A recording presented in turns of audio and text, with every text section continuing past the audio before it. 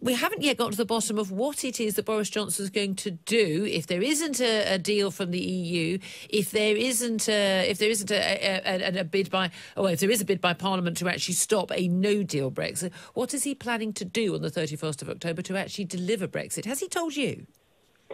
Um, I discussed this with Boris. Yes, I mean the, the, the Parliament has voted to leave on the 31st of October, um, and actually, in, in strict terms, Parliament's voted to leave regardless of whether there is a deal or not because it voted to invoke Article 50 and pass the EU Withdrawal Act. So that is the default option. Um, and I believe that it is vital that we press ahead and get this done because no, no, Theresa Villiers, with, with, all due respect, I, what you, I mean, I absolutely want to hear what you think, but I was asking you, do we know, and has Boris Johnson told you what he plans to do in the event that Remain voting MPs in the House of Commons say, nah, we're not leaving with no deal, you haven't got a deal from the EU, which the EU says won't be available. What does he do? Has he told you? Is he willing to prorogue Parliament? Is he going to call a general election? What is he going to do? Because saying that's what he wants to do doesn't matter if we don't know what he's going to do if it's going to be stopped. Well, he's he's said both publicly and privately that we'll be leaving on the 31st of October, deal or no deal. He's also said that he wants to engage with the EU to to try and uh, to to try and get better terms, in particular to go back to the offer that Donald Tusk made. And once again, can I ask you for the third time, if he doesn't get a deal from the EU, which Parliament will vote through, if he has to go for no deal and Parliament votes to revoke Article 50, what has he told you, as one of his supporters, as a Leave voter yourself, you want to deliver Brexit? What has he told you he is willing to do to make sure that happens? He has we we Parliament actually had the opportunity to start the process of trying to frustrate um, our departure from the European Union when um, Jeremy Corbyn tabled an opposition day debate on and it didn't work that time. But there were lots of Labour abstentions. They might get a majority come October the thirtieth. with all due respect, are you planning to answer my question? Part, unless Parliament has already voted to leave the European Union. I know that. And unless unless there is a majority in Parliament for some kind of legislation. Yes, and in the event that there is a majority to vote to revoke Article 50 and prevent a no deal Brexit, which has been threatened, including by some members on your own side, Dominic Grieve, Philip Hammond, and the rest. What is Boris Johnson, as Prime Minister of this country, who's promised to leave by October the 31st, willing to do to make sure that happens? What has he told you? You're supporting him and backing him. You're going on the public airways to say you back him to deliver Brexit. How is he going to do it? He is, he is going to be working with parliamentarians to ensure that we leave on the 31st of October. And we have only recently demonstrated that, um, A, it's not easy for Parliament to try and frustrate the elected, and B, there isn't necessarily a majority to do that. It, there's, there's the assumption out there in the commentariat that there's definitely a majority in Parliament which won't tolerate leaving. You. Am I am I right in thinking but, that he hasn't told you what he's willing to do? He has been clear that we need to leave on the 31st of October. that's not an answer. That's, that's why he's. Has he not told you? Have you not asked him? Has he not told you? Have you asked him? He refused to tell you, or has he told you? He's been very clear. He will. He will negotiate with the EU for, for better terms, and if, if they are not available, um, we will leave on the 31st of October without a deal. It's not his preferred outcome, but we as a party have promised to leave the European Union. So he'd, prorogue, he'd prorogue the House of. There, but Julia, many people out there are just fed up. They want to yes. get this sorted one way or the yeah, other. Yeah, but that's not what I asked you, with all due respect.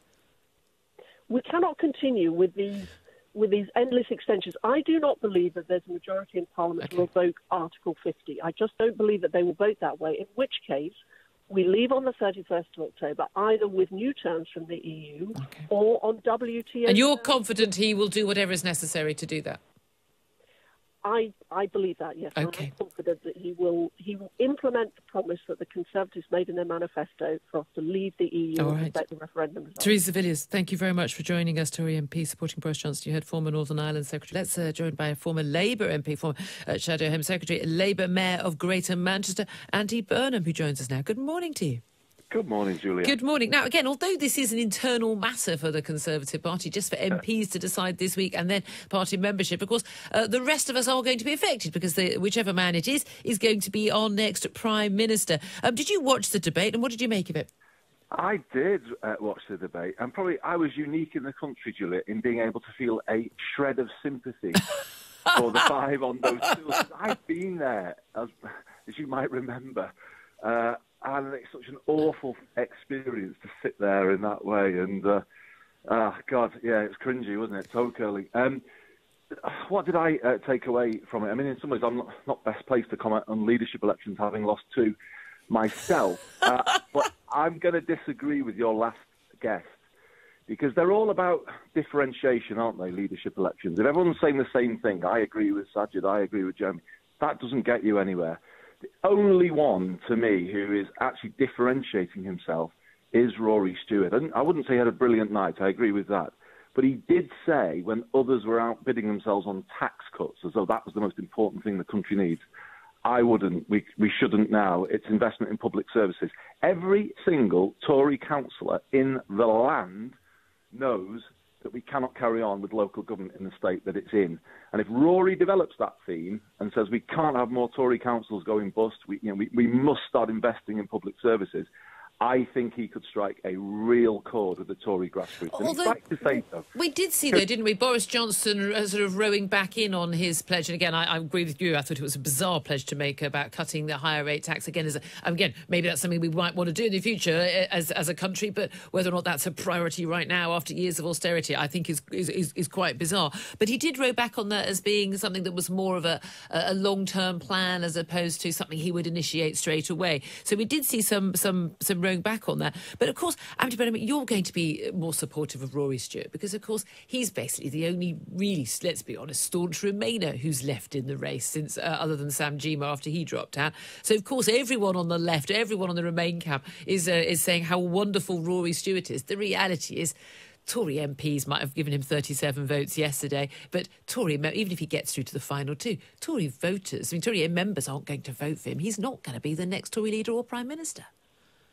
Well, who knows? I mean, I, I, I just said that some Tory councillors will have, uh, I think, picked up what he said last night. I, it, it's odd. I, people would have said that about uh, Jeremy Corbyn when he came into the race. Fair point. So, you know, you can't really predict these things with the kind of usual Westminster analysis. I think they are very volatile uh, competitions. And I think, again, I mean, I'm not. I don't think he had a brilliant night, by the way, and I didn't like what he said about Trump at all. But I thought this question he keeps posing about how will you deliver this deal before um, October, um, and what does it mean for no deal? I mean, they're all in a bit of fancy land. I think the danger for the Tory party is it's going down a sort of a chasing the Brexit party into the distance, isn't it? And it's, it should be speaking to Remain voters. If they're talking about uniting the country, they are going to have to talk more compromise than who's got the, the toughest stance on no deal. And I think this is where, you know, the, the Tory party may be about to make an historic mistake. It's meant to be a party of the whole country that is able to unite, and it is so frightened, it seems to me, by the Brexit Party that it, that it seems to be abandoning that space. And, and yet, most staunch Brexiteers most staunch Brexiteers I know are very fearful there's no one left in the race after Dominic Raab got uh, ousted yesterday, having not reached the uh, the 33 threshold. Uh, that, um, that, that, that no one who was actually is going to be trusted to deliver a proper Brexit. Let's talk about Labour Party policy on this, though, because uh, today it is understood that uh, there's going to be a shadow cabinet meeting to discuss uh, changing Labour policy and moving from this option of sort of we would like there to be you know changes made to any possible withdrawal agreement and a general election, and failing that a, a confirmatory uh, a referendum, a second referendum, but now moving towards that as the official party policy, a, having a confirmatory vote. Um, you presumably would support that. No, uh, no, not necessarily. I think the Labour Party has been in the right position so far. To be honest, I know they've sitting on the fence. Not many plaudits for it. A bit more than that, Julie. What they've been saying is we need a compromise in the national interest. Now that's not going to cut through on the doorstep to European election, but it's actually the right thing to do we need a compromise here if this country is to come back together quickly. If one side wins over the other, that is going to leave us divided for a generation and in a quite angry place, I think. So they've been right, I think, to camp out on that ground. and I think they should continue uh, to argue uh, for that type of compromise. The thing that surprised me about the whole Brexit debate, Julia, is we've almost been arguing for a solution on day one after leaving. I've always thought that the best thing to do is just to kind of leave and then carry on in a more measured way, debating, well, where do we actually want to end up? So, you know, the day one position is not the end position. And surely that's what we should be doing. That's why I've often said that the Norway option is the safest way to leave the European Union. But then it leaves uh, all the options uh, really on the table as to how far we move and, and where we actually end up. And, and that is what, if, if I was anybody, in, if I was in Parliament now, I would be advocating for that. We need to respect the referendum result, but we need to leave in the safest way possible so that we don't damage people's jobs, we don't damage the security of the country. But we can then carry on debating at our own leisure, not to any deadline set by Europe, where we want to actually end up. Now, I don't know if that Burnham plan for Brexit makes any sense, but that is what I was putting forward.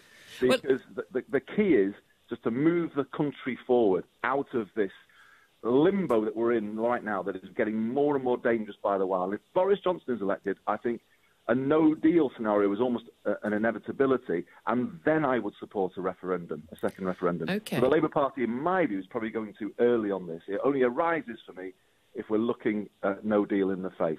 Um, now, today, just finally, you're speaking as the NHS Confederation annual conference, uh, and you're going to be talking about some of these promises about tax cuts of Conservative leadership candidates. And again, I think if Brexit was over and done with, I think we much more talk about other domestic policies. But as a former health secretary, of course, um, uh, you, you're, you're going to be, as you mentioned a little bit earlier, very critical of the possibility of those cuts and where you would actually rather have that money spent. I am certainly going to say that, Julia. I know you don't think that politicians can get angry at politics, but we do, I can assure you, and very disillusioned at times. And the lowest point for me in, in recent times came a fortnight ago when politicians were rightly queuing up uh, to, to laud the D Day generation. But on the very same day, there was a panorama programme which showed the reality of the lives of the majority of the wartime generation where they are left without support and without dignity in their own home because social care is collapsing. If, if something exposes the hypocrisy of politics, that programme uh, was it on that particular day. And that's why I do agree with what Rory Stewart said last night. Tax cuts are not the priority. The care of older and disabled people should be our, our top priority right now. Uh, and that's what I will okay. say to the conference uh, today. We have improved social care in Greater Manchester in the last two years through devolution by bringing the NHS and social care together. We've got a lot more care homes that are rated good or outstanding. Uh, we've virtually eliminated 15 minute care visits, uh, but we can only go so, so far from integration. More money has to come into the system if we are to give that wartime generation the dignity okay. they deserve. And that is what I'm going to be saying to all of them. What is your plan for social care?